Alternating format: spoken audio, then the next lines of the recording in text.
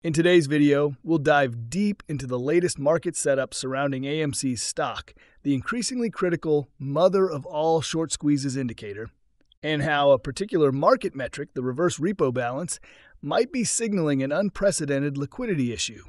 We'll look at how this situation has evolved, what it could mean for stocks like AMC and GME, and why the unfolding events are causing significant waves in both retail and institutional investing circles. Hey, welcome to AMC Daily. If you are new to the channel, be sure to subscribe to the channel and turn on post notifications by hitting the bell so you never miss any of our uploads, and also enter our giveaway. But everyone, remember this is not a financial advice video. Starting with the reverse repo indicator, let's break down what this is and why it matters so much to those closely watching the AMC short squeeze potential. Reverse repurchase agreements, or reverse repos, have become a crucial measure for liquidity among large financial institutions. In essence, reverse repos allow the Federal Reserve to borrow cash from banks overnight, with banks receiving high quality collateral, typically U.S. Treasuries, in exchange. When we see a decrease in reverse repo balances, like the drop under $155 billion recently, signifies less cash circulating in the system, impacting the liquidity available to institutions. So, why should we care about the reverse repo dropping to this level? This decline directly affects hedge funds and financial institutions, especially those exposed to high risk bets such as shorting AMC. Traditionally, high reverse repo balances indicate robust liquidity, meaning banks and hedge funds have ready access to cash to maintain their positions and cover risks. Now, with reverse repo balances falling below significant thresholds, for instance, $200 billion, it tells us liquidity is tightening, raising the chance of margin calls on these risky positions. To put this into perspective, think about when the reverse repo level started climbing to unprecedented heights, nearing $2 trillion. This was around the same time AMC and GME stocks came into the spotlight, igniting the short squeeze phenomenon. Hedge funds shorting these stocks required substantial cash reserves to maintain their positions and meet collateral requirements. Consequently, reverse repos skyrocketed as institutions relied heavily on Federal Reserve funds to sustain short positions, synthetic shares, and leverage. However, in today's market climate, the reverse repo has dramatically decreased from $2 trillion to a new low of $155 billion. This plummet in available liquidity is crucial signaling that financial institutions now face tighter capital constraints, a development that could impact the short selling narrative around AMC.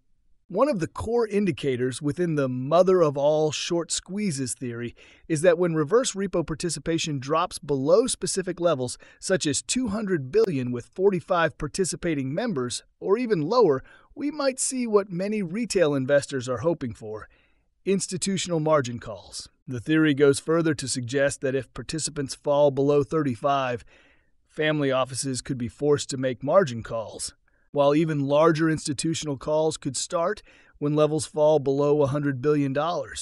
At that point, banks might start recalling equities tied to risky bets. This potential scenario becomes especially interesting in light of recent events. For example, the German banking sector has reduced its exposure to U.S. loans, resulting in bond market instability and exacerbating concerns about illiquidity. This move suggests that even overseas institutions are preparing for the worst. Why is this important? It's all interconnected. The lack of liquidity in one part of the financial ecosystem can cascade into other areas, eventually impacting U.S. banks and hedge funds that have significant exposure to risky assets like AMC shorts.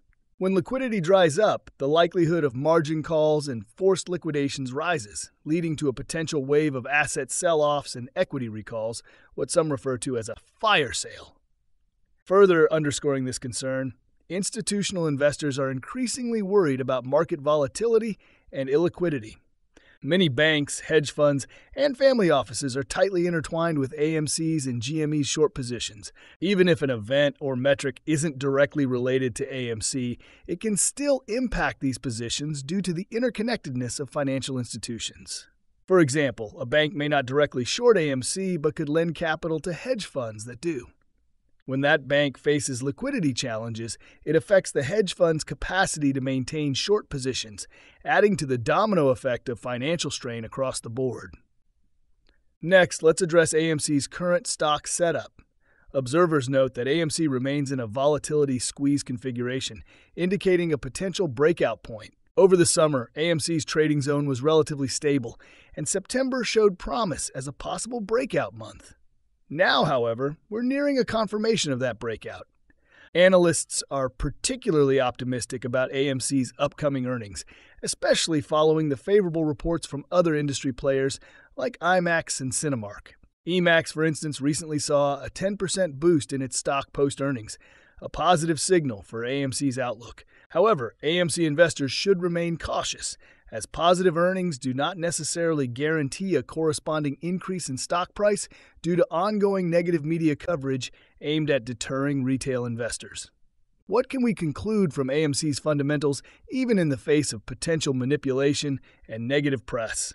It's essential to look beyond daily price fluctuations, as these do not always reflect true value or performance. In AMC's case, fundamental health is a more reliable indicator the company's leadership, including CEO Adam Aron, has been transparent about AMC's financial standing, indicating no bankruptcy risk for at least the next two years. This assurance is critical as it counters the narrative that short sellers might be waiting for AMC to go bankrupt, a scenario that's now unlikely in the near term. Consequently, short sellers face limited options. They must either wait for retail investors to capitulate or hope for a significant decline in AMC's business fundamentals. In parallel to these AMC focused events, prominent investors are making notable moves that align with broader market concerns. Recently, Warren Buffett, a legendary figure in investing, has shifted Berkshire Hathaway's strategy to accumulate an unprecedented cash balance, halting stock buybacks altogether. This is significant Berkshire has paused its buyback program and now holds a staggering $325 billion in cash reserves. Notably, in Q3 of 2024, Berkshire repurchased no stock compared to hundreds of millions or even billions in prior quarters. This decision suggests that Buffett sees the market as overpriced and likely bracing for a downturn. Given his historical track record of stock buybacks during undervaluation periods, Buffett's choice to hold cash indicates that he foresees a potential market correction or crash. The broader market's overvaluation isn't limited to just a few stocks. Major players like Nvidia, which experienced a meteoric rise, are now under scrutiny. Nvidia has reached an astonishing market cap, driven largely by demand in artificial intelligence, AI, and semiconductor sectors.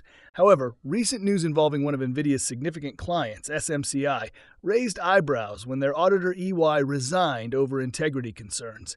This development casts doubt not only on NVIDIA, but also on the tech sector's stability, where companies rely on inflated valuations for collateral and leverage. If NVIDIA faces backlash or a sharp decline in valuation, it could trigger broader financial repercussions across the market. In light of these evolving factors, it becomes clear that we're witnessing a volatile moment in financial history. Between diminishing liquidity, potential margin calls, an inflated stock market, and heightened scrutiny on major players, the possibility of a substantial market correction seems increasingly likely. For AMC and GME, the interconnected financial risks present a unique opportunity for the mother of all short squeezes scenario to play out. Should these conditions persist, we might see short sellers face mounting challenges to maintain their positions, setting the stage for what retail investors have long awaited the unwinding of massive short positions. To summarize, while the current landscape is fraught with complexity and risk, this situation could pave the way for a significant shift in market dynamics, potentially igniting the ultimate short squeeze in AMC and GME. Watching the reverse repo balances, understanding liquidity flows, and observing major institutional moves will be vital for anyone invested in or tracking AMC's journey. As always, it's critical to approach these topics with informed perspective, patience, and awareness of the broader economic trends shaping the future of financial markets. Guys, that's all we have for you today. What is your opinion about AMC stock? Get involved and let us know in the comments down below. Thank you for watching.